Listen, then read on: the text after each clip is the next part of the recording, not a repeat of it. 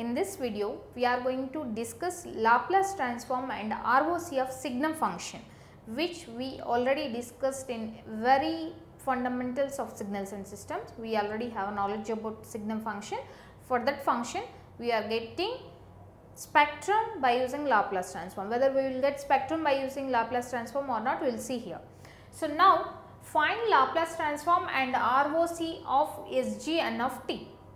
So, here find Laplace transform and ROC of SGN of t means, so now you can see SGN of t I am considering as my signal x of t equivalent to SGN of t.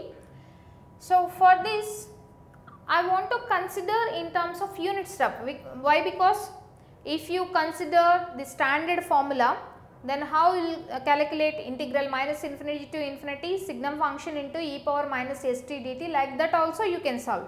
But for that signum function again you can go for the signum function definition that is that is equivalent to 1 when t greater than 0, 0 when t equivalent to 0 minus 1 when t less than 0 and you need to separate into 3 integrals and you need to consider integration of exponential and so and so. So, I want I do not want to do all that procedure to get the uh, Laplace transform of signum function. I am just using unit step functions which we already have knowledge of Laplace transform of unit step. So, as I can de uh, define my signum function in terms of unit step, then that is very easy to get Laplace transform also. Why? Because we know Laplace transform of unit step. So, here I want to write in terms of unit step. So, how we can write in terms of unit step means signum function will be like this.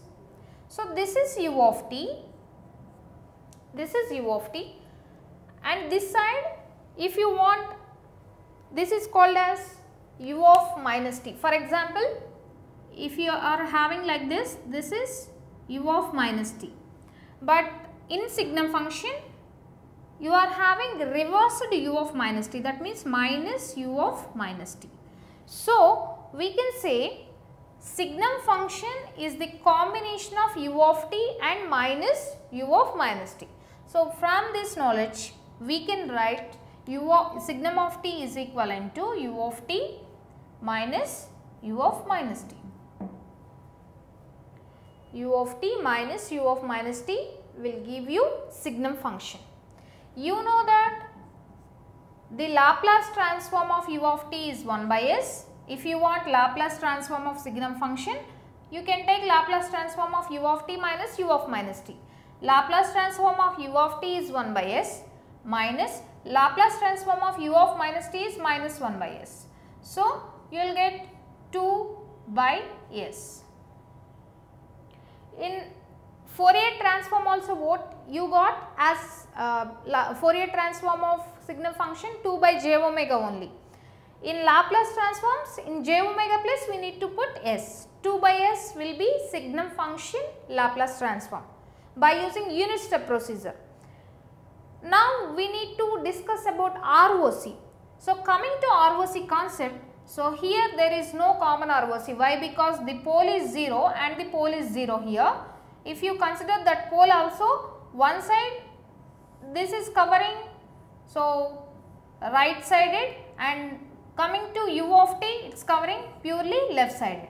One, one u of t is purely right sided and another u of t is purely left sided.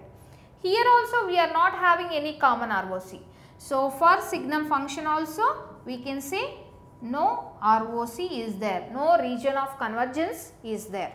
So, like this way we can find the Laplace transform of signum function and ROC of signum function.